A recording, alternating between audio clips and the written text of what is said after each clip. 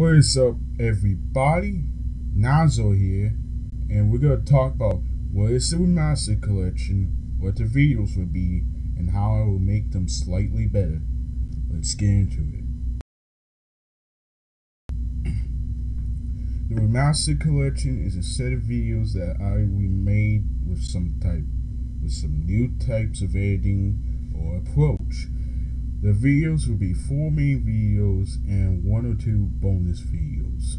Some of these videos were important to me or my general audience who watched, enjoyed, and liked them. Also, some of the videos were mostly garbage. Well, okay. We already have two of the fourth four videos done, so I'm gonna skim over them. The first video was Galaxy Life video, which I'm not gonna talk about at all.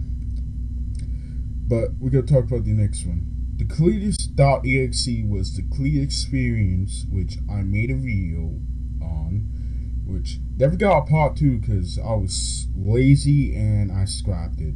The third video that's gonna be made is the video about the starving hustlers it's controversy which happened during like February or March. I don't know when the video was made.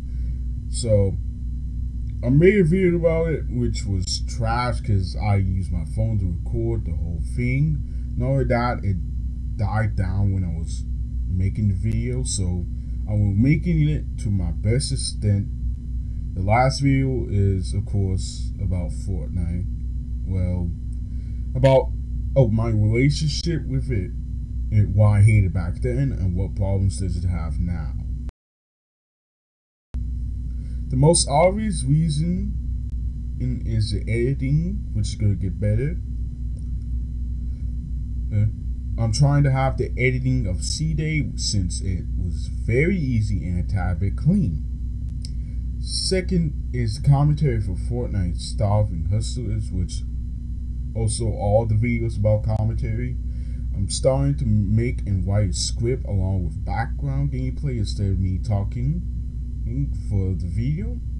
The last and least point is the quality. Most of my videos will be 1080p 60 fps if I'm using film mode, which uh, I'm using right now, or 1080p for Sony Vegas.